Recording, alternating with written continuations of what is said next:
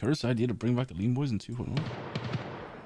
Honestly, I've been having more success on on Tarkov than I have on GTA. Like I'm just that's a fact. True. You know what I mean?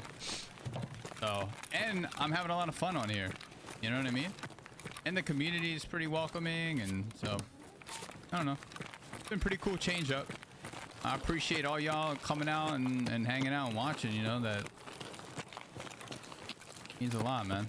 Especially doing another game, and that's not my main game, so it's kind of cool.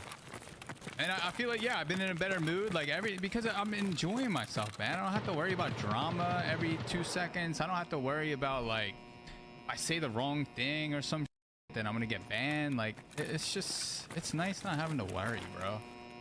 You know what I mean, boys? My bad, guys. My bad. My bad. My bad. My bad. I know that noise was annoying as right. Sorry. Yeah, I might check out the 2.0 public one.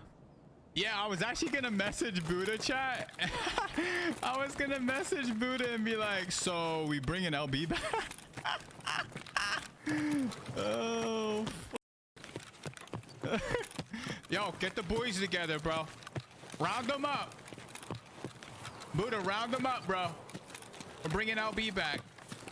I still don't think he would want to do it though, cause um, doesn't he stay far away from like stuff like that? Like he doesn't, he can't be bothered with like shit like that, right? GSF? No.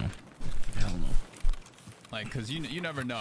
I- mean, if it's all fun and shit, it'll probably be dope. But like, you know how things go, man. It seems like every everything It wouldn't turns be into sick, like a bro. I'm telling you right now, know? the old the old members of of Clean Boys or LeanBois would get fucking pissed, bro, at some of the shit that happens now.